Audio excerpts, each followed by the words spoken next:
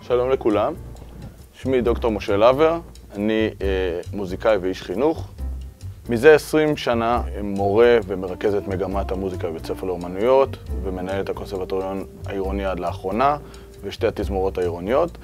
ולפני שנה פתחנו את המרכז למוזיקה, בית הספר למוזיקה מודוס, אה, שמאפשר לתלמידי נגינה בכל כלי הנגינה ועם מיטב המורים להגיע להישגים מוזיקליים יוצאים מן הכלל, כשבמקום יש את התנאים האידיאליים ללימוד, להרכבים, להקלטות, להפקות. בצמוד גם הקמנו חנות כלי נגינה שמשרתת את הציבור של הלקוחות שלנו עם מיטב היצרנים והחברות המובילות בתחום.